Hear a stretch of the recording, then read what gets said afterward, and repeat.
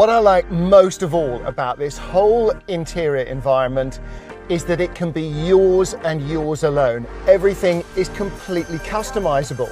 And that means that you can set your own profile and so can up to seven drivers. And like your smartphone, you can use the panel to move the things that are important to you into their correct position. Another little trick is the voice command system.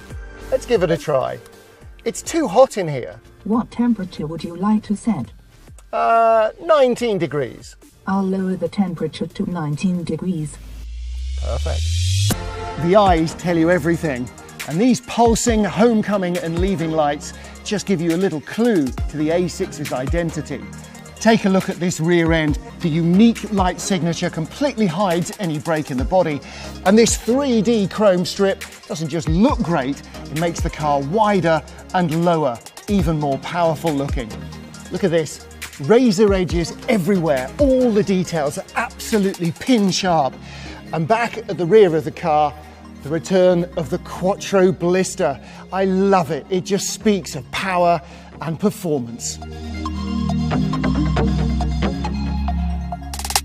How are we going to sum up the brand new A6 then?